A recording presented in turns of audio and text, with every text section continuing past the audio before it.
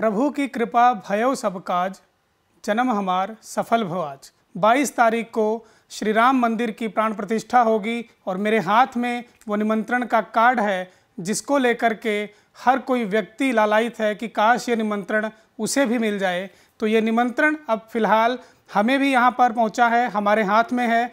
बहुत से नेता हैं, बहुत से राजनीतिक लोग हैं, देश की तमाम हस्तियाँ हस्तियाँ हैं।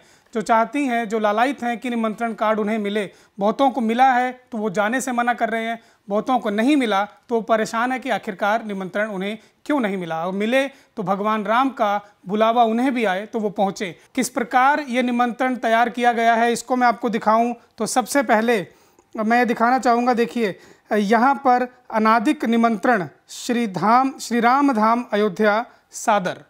श्री राम धाम की तरफ़ से निमंत्रण आ चुका है और ये प्रथम पन्ना है जिसमें एक इसको इन्वेलप भी कहा जा सकता है और इसी में ये राम मंदिर का निर्माण का जो कार्ड है वो है। और यहाँ पर देखिए प्रभु श्री राम का वो भव्य मंदिर जो बनकर तैयार हुआ है अयोध्या में।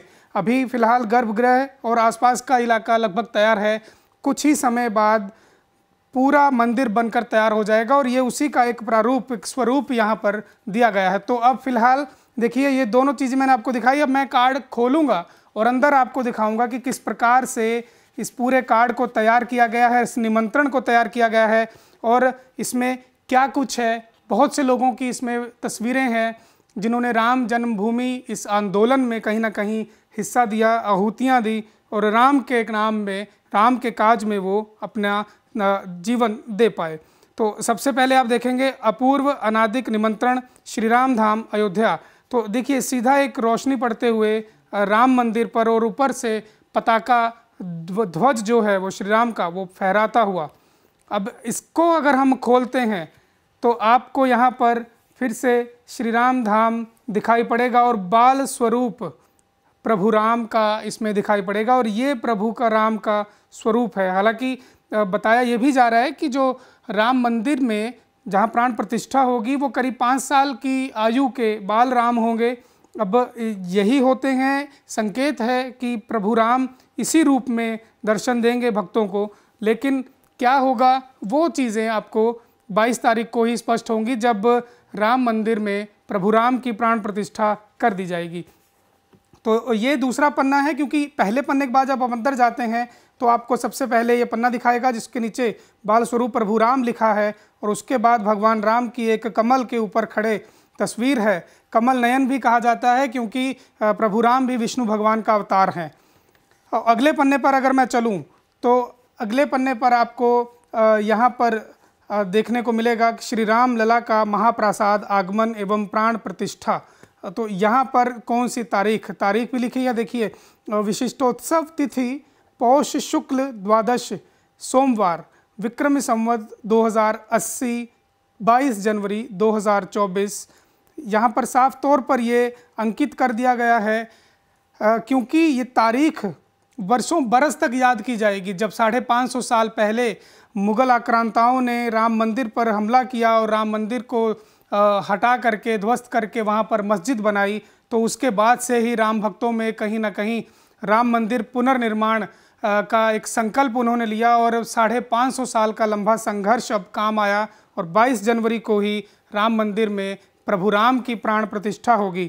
तो ये तारीख अब हज़ारों हज़ार साल तक याद की जाएगी।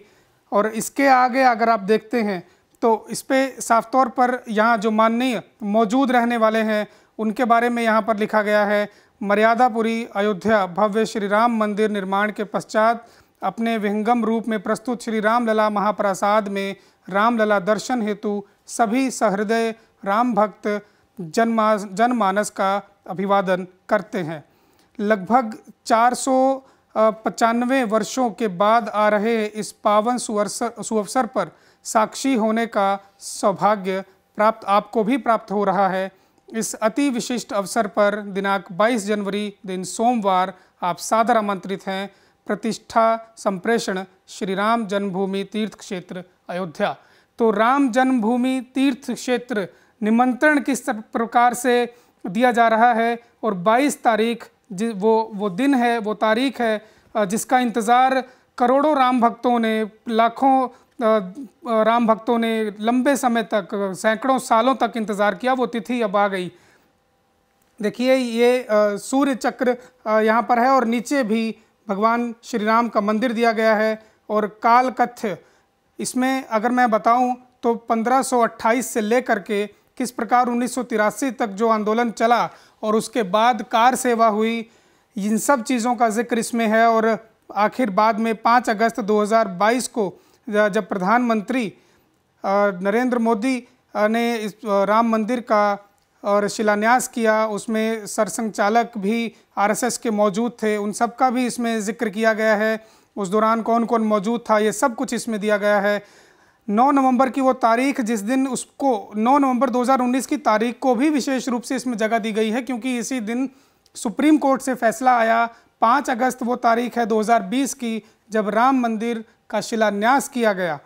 तो देखिए ये तीन तारीख बेहद अहम हैं सनातन धर्म के लिए, हिंदू धर्म के लिए और ख़ास तौर पर राम भक्तों के लिए जो कहीं ना कहीं रामलला के विराजमान होने का, एक भव्य मंदिर में आने का इंतज़ार कर रहे थे। तो ये एक कार्ड मैंने आपको दिखाया है, जो तैयार है और पहला और आखिरी पन्ने में भी भगवान श्री राम के उसी भव्य मंदिर का इसमें प्रति, इसमें छवि एक लगाई गई है और मर्यादापुरी अयोध्या यहाँ पर लिखा गया है साफ़ तौर पर। आप देख सकते हैं कि ये एक कार्ड है, जो निमंत्रण पत्र है। और अगर मैं आपको दूसरा कार्ड भी दिखाऊँ, एक अगर इस कार्ड की बात करें तो इसमें एक बुकलेट दी गई है, एक पुस्तिका ऐसे दी गई है, उसमें 22 लोगों को, की तस्वीरों को जगह दी गई है, जिन्होंने राम मंदिर के लिए कहीं ना कहीं योगदान दिया, अपनी आहुति दी, अपने जीवन को खपाया। तो उन सबको भी इसमें जगह दी गई है। तो ये भव्य राम मंदिर जब बनकर तैयार होगा तो कुछ इसी प्रकार का वो दिखेगा और वो तस्वीर जो होगी राम मंदिर की, वो इसमें दिखाई गई है। तो यहाँ पढ़ें तो यहाँ लिखा है, संकल्प संप्रोषण। तो अंदर अगर हम चलते हैं अंदर पहला पन्ना अगर हम आप आ, को दिखाएँ तो सम्मान स्वरूप आप देखिए इस इस पन्ने को अगर आप पढ़ेंगे तो इसमें पूरा वो इतिहास दिया गया है। आ, इसमें थोड़ा सा मैं पढ़ के दिखाऊँगा ऊपर वाली लाइनें आपको कि पुस्तिका का यह पुन यह पुष्प उन सभी हातुता हातुमात्माओं को समर्पित जिन्होंने ईस्वी सन 1528 से लेकर के सन उन्नीस सौ चौरासी तक श्री राम जन्मभूमि को मुक्त कराने के लिए प्रत्यक्ष अथवा अप्रत्यक्ष रूप से छिहत्तर संघर्षों में भाग लिया।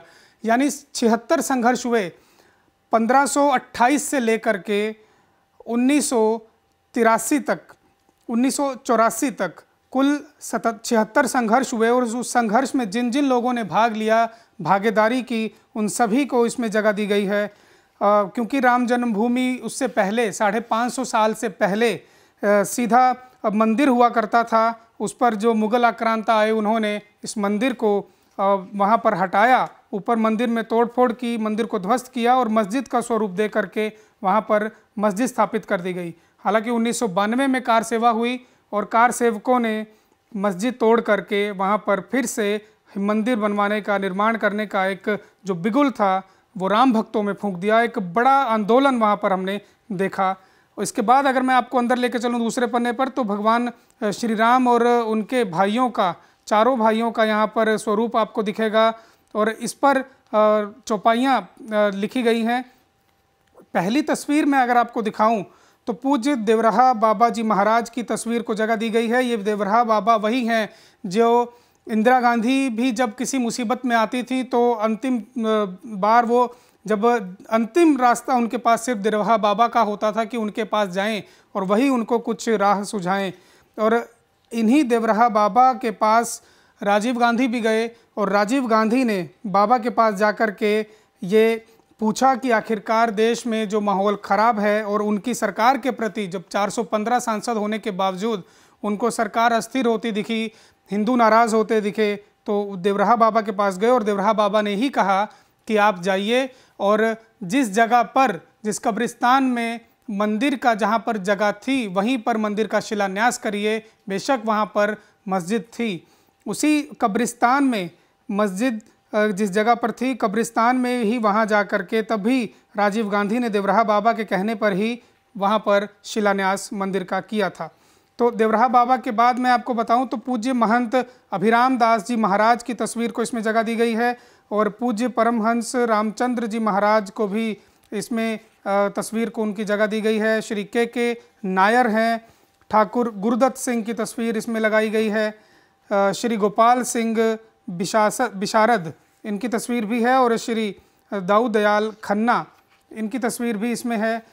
और पूज्य महंत अवैद्यनाथ जी महाराज की तस्वीर लगाई गई है। श्री ओंकार भावे की तस्वीर यहाँ पर है। और आप देखें श्री देवकी नंदन अग्रवाल की तस्वीर है। पूज्य श्री स्वामी शिवरामाचार्य जी महाराज की तस्वीर भी यहाँ पर दी गई है। पूज्य श्री स्वामी शांतानंद सरस्वती जी महाराज की तस्वीर है। पूज्य जगत गुरु जगत गुरु मध्वाचार्य विश्वेश तीर्थ जी महाराज, इनकी भी तस्वीर यहाँ पर है। कुल 22 जनों की तस्वीर यहाँ पर है। श्री विष्णु हरि डालमिया की तस्वीर है। और वीतराम पूज्य श्री स्वामी वामदेव जी महाराज की तस्वीर है। पूज्य श्री स्वामी सत्यमित्रानंद जी महाराज की तस्वीर है। श्री मधुकर दत्तात्रेय देवरस ये आरएसएस से थे, इनकी तस्वीर है। और श्री मोरोपंत पिंगले की तस्वीर है। श्री राजेंद्र सिंह रज्जू भैया जिन्हें प्यार से बुलाया जाता था, उनकी तस्वीर है। आचार्य गिरिराज किशोर जी की यहाँ पर तस्वीर में जगह दी गई है और देखिए सिंधिया राजघराने की राजमाता विजय राजे सिंधिया की तस्वीर भी यहाँ पर है और अंतिम तस्वीर अशोक सिंघल की है। अशोक सिंघल आप सब जानते हैं विश्व हिंदू परिषद के अध्यक्ष थे। जब कार सेवा हुई तो इनका एक अहम रोल आ, कहा जाता है कि राम मंदिर निर्माण में इनकी एक अहम भूमिका भी रही क्योंकि सीधे तौर पर इन्होंने एक आंदोलन घर घर तक पहुँचाया था तो वो विश्व हिंदू परिषद के अध्यक्ष अशोक सिंघल भी थे। करोड़ों लोग थे, जिनका नाम, लाखों लोगों का नाम भी हर हर, नहीं आ सकता, लेकिन जो महत्वपूर्ण लोग हैं, उनको यहाँ पर जगह दी गई है। इस पुस्तक में जिसमें साफ़ तौर पर अगर आप देखेंगे तो राम मंदिर और रामलला के साथ साथ उन तमाम लोगों को जगह दी गई है, जिन्होंने राम मंदिर आंदोलन में हिस्सेदारी कहीं ना कहीं दी है। तो ये मैंने आपको दिखाया निमंत्रण पत्र और एक पुस्तक जो लिखी गई है। अब मैं आपको, मेरे हाथ में जो आप देखेंगे ये आप कहें तो पार्किंग के लिए अगर आप जाते हैं, क्योंकि निमंत्रण आया है तो आप गाड़ी से जाएँगे तो गाड़ी खड़ी कहाँ करेंगे, उसके लिए भी ये एक पार्किंग के लिए एक चार्ट दिया गया है।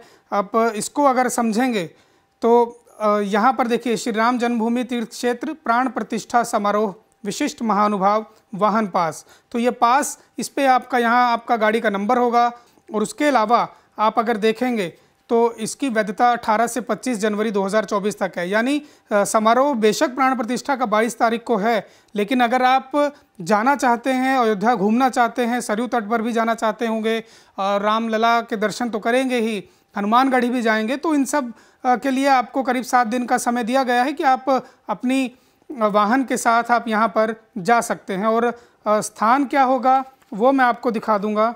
तो पार्किंग स्थल, हनुमान गुफा धर्मपथ, अयोध्या धाम। गूगल मैप अगर आप इसको स्कैनर दिया गया है, इसको स्कैन करेंगे तो आप सीधे तौर पर गूगल मैप के ज़रिए भी वहाँ पहुँच सकते हैं। तो ये निमंत्रण पत्र है वो निमंत्रण पत्र है जिसका इंतज़ार लोग कर रहे हैं। राजनेताओं को बहुत बेसब्री से इंतज़ार है, बहुत लोगों को निमंत्रण पत्र नहीं मिला है, क्योंकि हर किसी को संभव नहीं है वहाँ पर बुला पाना। करोड़ों सनातनियों की निगाहें अब 22 तारीख को है कि देखना होगा, जब रामलला विराजमान होंगे, उसके बाद करोड़ों लोगों को दर्शन करने के लिए भी सरकार व्यवस्था कर रही है।